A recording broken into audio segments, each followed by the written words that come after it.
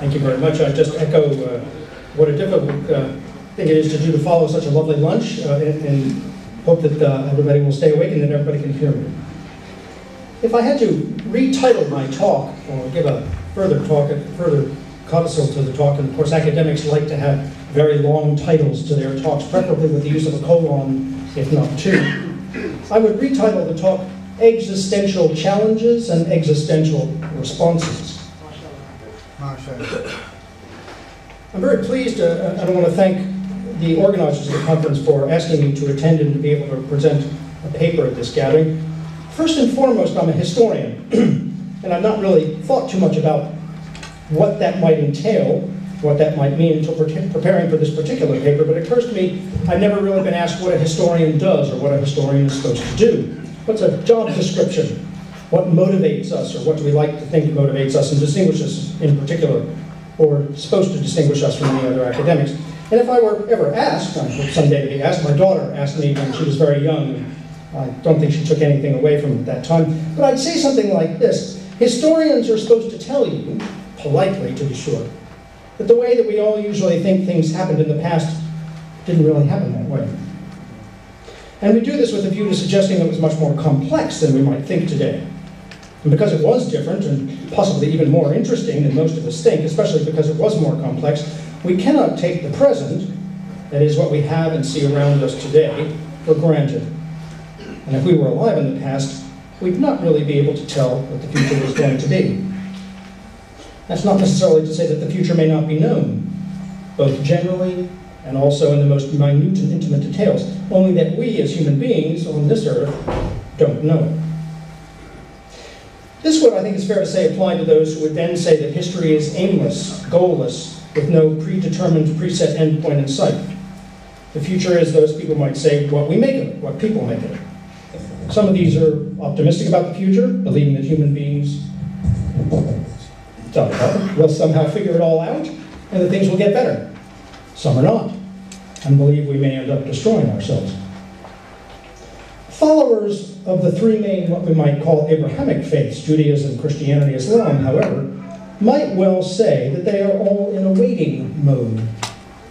They have this in common, I think, even as they face a myriad of both external and internal challenges. They have an idea of the eventual outcome of history. That is, they might be said to feel that history is not aimless, but in fact is moving in a line. But they don't know the exact details of how they will move from where they are to that final point. Still speaking of these same people, the same might be the case in the past. The faithful of the past all faced, also faced a myriad of internal and external challenges. They too could not in particular foretell the obstacles and challenges that might be faced by their own generation, let alone future generations. They also could not speak with certainty about any particular outcome in detail, nor be in any position to know any future events or trends for certain, except the final one. Seems to me then the historian's job might be to unpack or recreate the realities to better understand a range of challenges that people faced in the past. To note that there were different groups of people, and to suggest, therefore, how different of these peoples reacted to these different internal and external challenges. And to sketch out what possible different outcomes there might have been, as opposed to the one which did finally come about.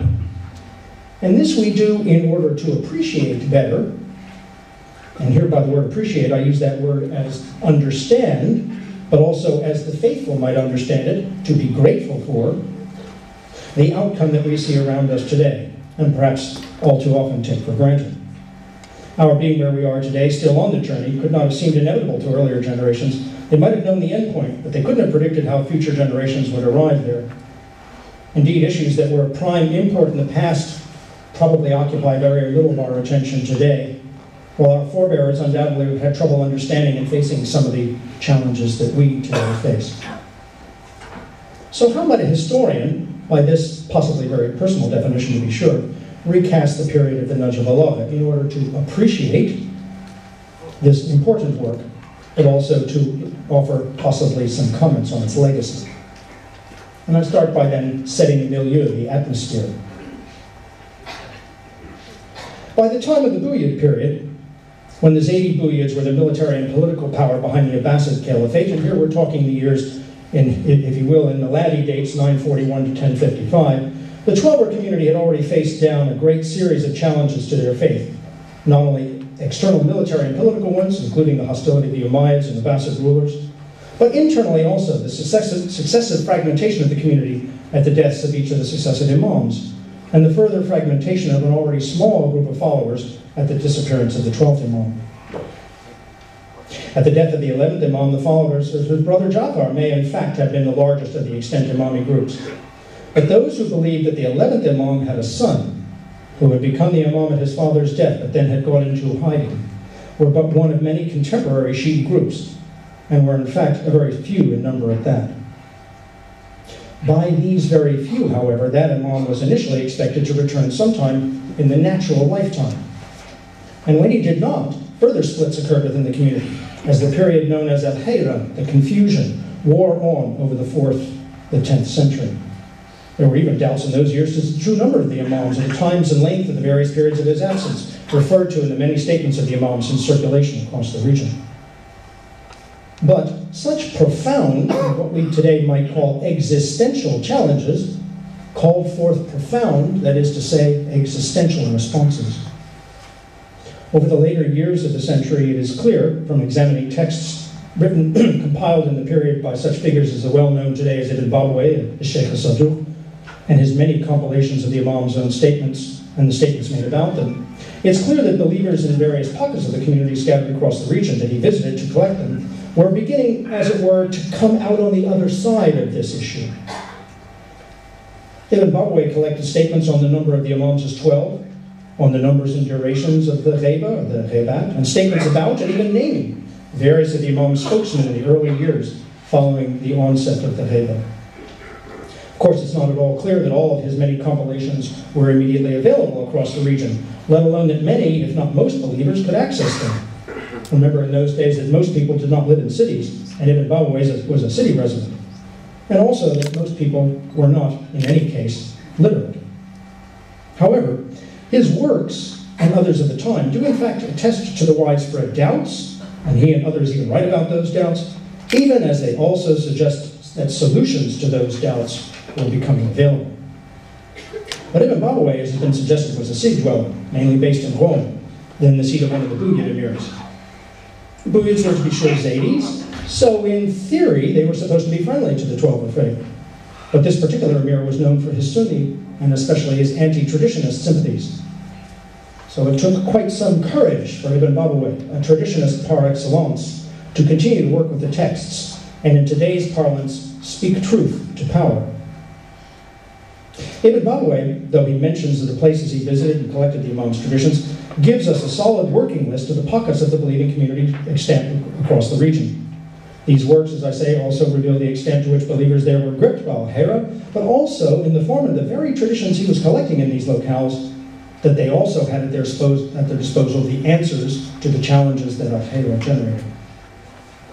Ibn Babawayh was a Roman, and in fact spent most of his career and undertook most of his travels in what we might call the Eastern Islamic lands, especially Khorasan, where, as we know, the eighth Imam had spent some time.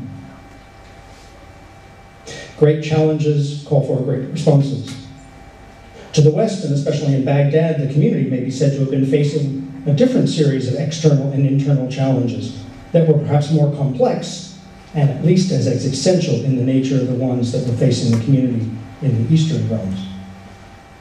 Of course, we know lots about the Twelver elites of the later years of the Buyid period.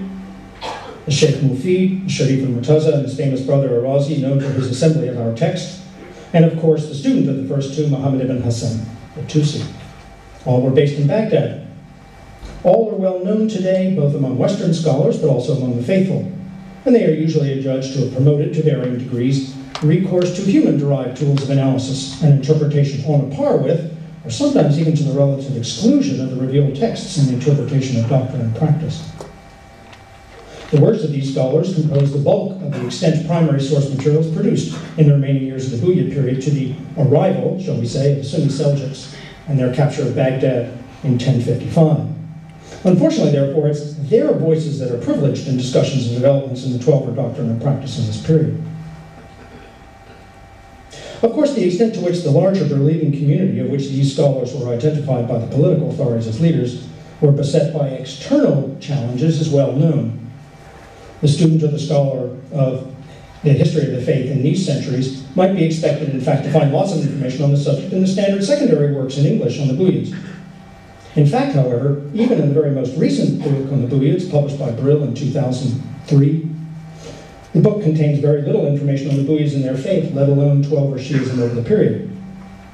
In fact, by the Buyid period, Baghdad was a well-developed urban center, and its sectarianism was well known and dated, in fact, to the later 800s and early 900s, well before the arrival of the Buyids on the scene. But when scholars come to discuss the sectarianism in the Buyid period, in particular from the 940s on, that is to say, it's only the later Sunni authored accounts of events in the life of the city that are available. And as other Western scholars have depended on these to discuss the religious atmosphere of the period, they have done so rather uncritically. They accept the agenda of these later Sunni sources, which agenda suggests that really the Buyids only exacerbated Baghdad's sectarianism. By contrast, in these later texts, the Sunni caliphs, especially al-Qadir, for example, are portrayed as defenders of the faith, and especially the traditionalism of the Sunni popular classes. In the process, these later Sunni sources do refer to very nearly continuous sectarian tensions in the city across the period. From 946 to 961, for example, if one picks these apart, one can see the Sunnis plundering the larger Shi'i quarter, setting afire the Shi'i Bab al-Taq quarter, and much sectarian strife, actually forcing the government to send in troops and banish some Shia from the city. Riots in the 990s forced cancellations of ceremonies commemorating Muharram. In 1017, al-Qadir banned discussion of Shi'i and Mutazili doctrines. In 1018, he denounced the Mutazili view of the Quran and affirmed the caliphate of the first three caliphs and dismissed the preacher at the Shi'i Barathan Mosque. In 1031, Sunnis blocked the path of Homi pilgrims to Kufa and later, with Turkish elements, attacked Karkh. In 1049, Ashura commemorations generated riots. In 1051, Sunnis attacked Karkh yet again, and the graves of the two Imams Musa and Muhammad Jawad at Kazamain as well. The Sunni Seljuks were approaching, and in 1053-54, just before they approached, there are reports of further conflict inside the city. But the Sunni sources that Western scholars reference when referring to this Baghdad-based strife in these years include sources written in the 13th century, Ibn al-Jawzi, who died in 1201, Ibn al-Athir, who died in 1233, and Ibn Kathir, who died in 1373, hundreds of years later. When today we can acknowledge that even events of 20 years ago are subject to different recollections, let alone different interpretations, and this in the age of the internet, imagine the discrepancies that, that some three centuries may engender for the understanding of the daily life in Buyid Baghdad.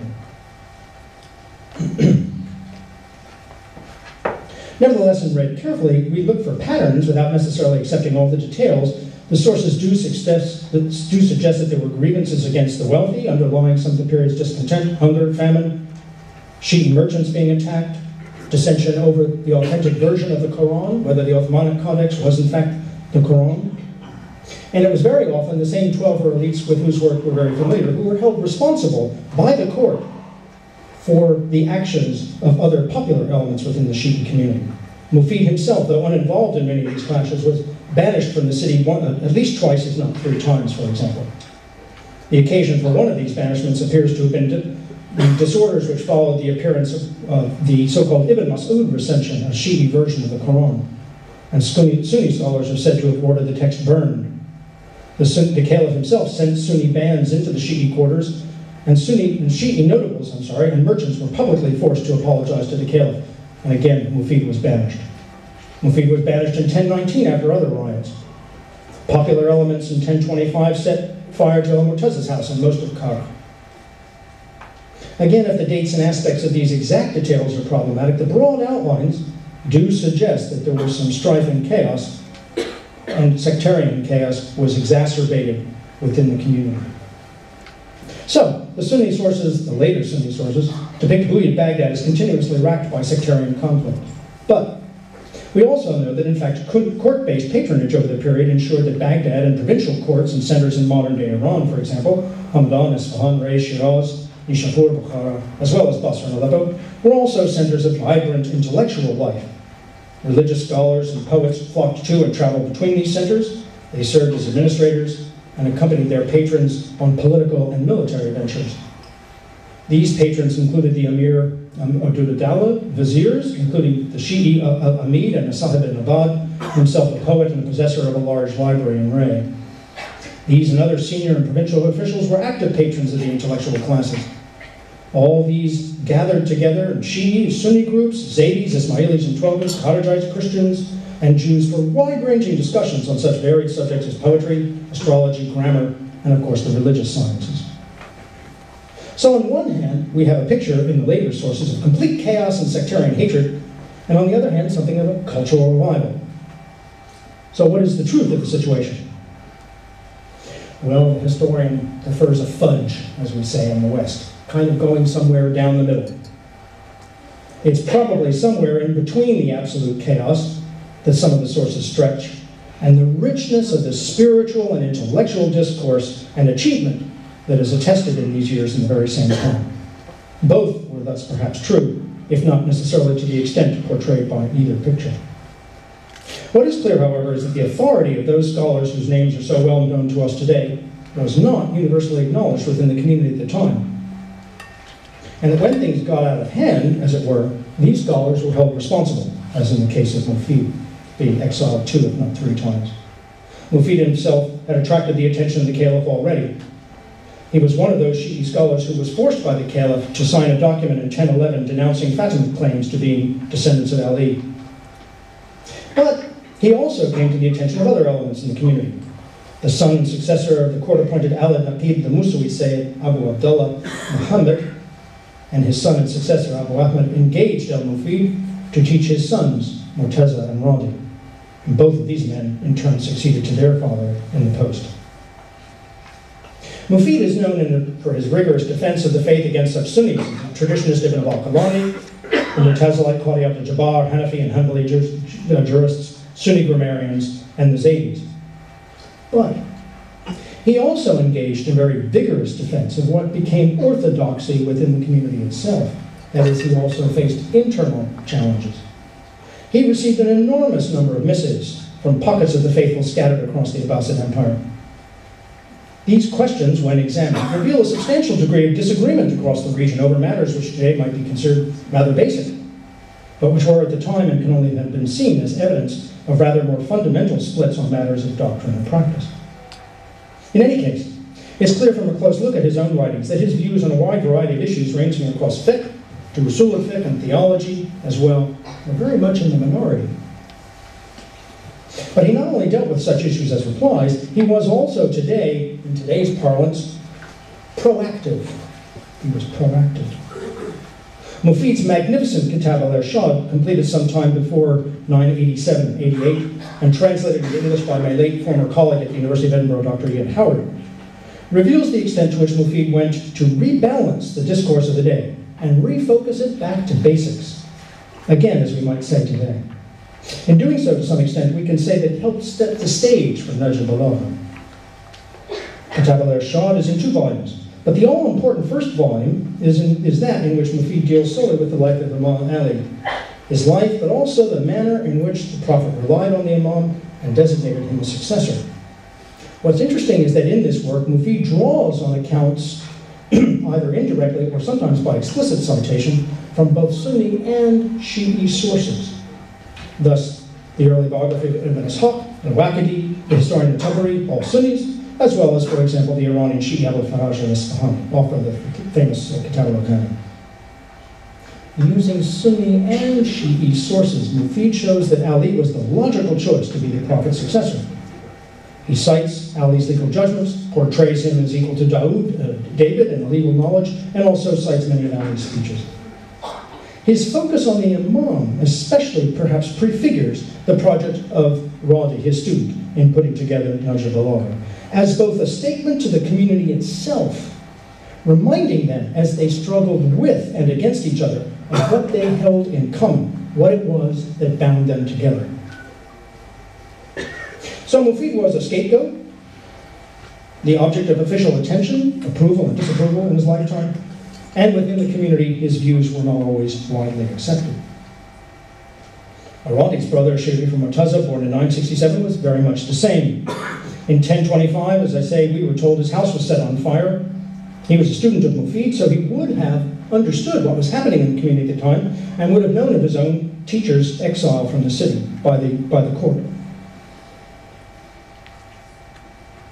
Of course, his father lost his post, and some of the, some of the, in some of these, uh, as a result of some of these already mentioned riots, and was jailed and had all his property seized by him by Adud ad-Dawla's, the same, very same Louis de who said to have patronized Mufid. Morteza, by comparison with his teacher, is generally understood as having adopted a more rationalist approach to the understanding and defense of the faith, in which he accorded the tradition sometimes considerably less notice. In fact, he was much more involved, however, with disputes with fellow Twelvers than has been noted to date. Close attention to certain of his works reveal both his efforts, like those of his teacher Mufid, to assert the authority of his views on issues of doctrine and practice, but also close attention to those works reveals the presence within the community across, in the pockets scattered across the Abbasid Empire, of a range of different views on a variety of both doctrinal and practical matters.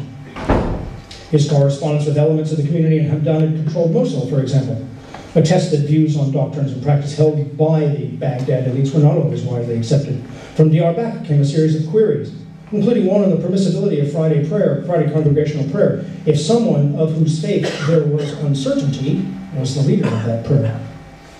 In replies to the Mosulis and those in Diyarbakir on issues to do with khums, we see that Morteza addressed some issues related to the categories of items subject to the tax and to its recipients that might be judged rather basic today. So as with Mufid, a close reading of Morteza's works reveals that his views on these kinds of and many other issues were decidedly within the minority in the community.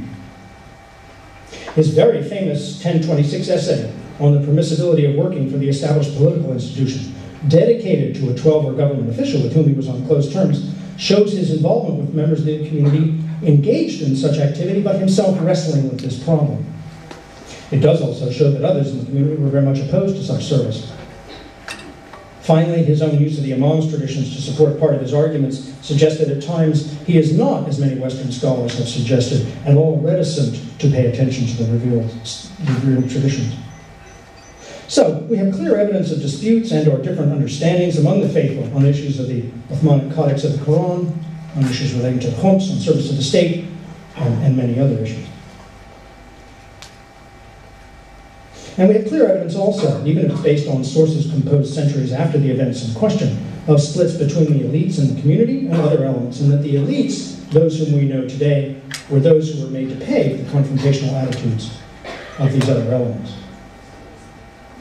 Both elites and non-elites must have been tearing their hair out over the present, let alone the future, of course, of the community, and the future of the faith itself. As to Nahj itself, its compiler was Murtaza's younger brother, Arazi, a student of Qadi Abdul-Jabbar, Mu'tazili scholars, and a Maliki who offered, offered him a house at one point. Arazi had the respect of the Caliph of Qadr, and for his poetry, that of the uh, Vizier Asaf ibn Abad.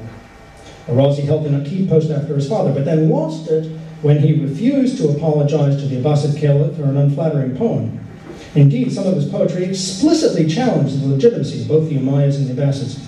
He as others before him, thus we might say today, was not afraid to speak truth to power. But being who he was, Razi, son of Naqib and student of Mufid, also was certainly aware of the necessity of addressing both Sunni elements, but also the necessity to address the splits within the community itself. This then is my argument. The complex series of external and internal challenges and disagreements was the background against which Razi was asked to and then compiled Nahj al-Balagha. Extraordinary, and what we today could easily classify as existential challenges to the faith called forth an extraordinary existential response. And that response was the masterpiece that is Nahj al-Balagha. Nearly 250 sermons, 70 letters, nearly 500 sayings of the Imam on an amazing range of topics major problems of metaphysics, theology, fiqh, tafsir, hadith, prophetology, the imamate, ethics, social philosophy, history, politics, administration, civics, science, rhetoric, poetry, and literature. All coming back to the Imam himself. In a sense, then, Razi was using this undertaking, this project, as a response, an effort to call back the different and sometimes warring segments of the community back to the very basics, to the thing which distinguished them, to distinguish the faithful from others in the community. The understanding that both the political but also the spiritual mantle of the prophet had passed to the imam at the prophet's death. And that as the bearer of that mantle, the imam was the authority in such a range of matters which spanned both doctrine and practice. Muhammad As wa such- ali Muhammad salawat. Muhammad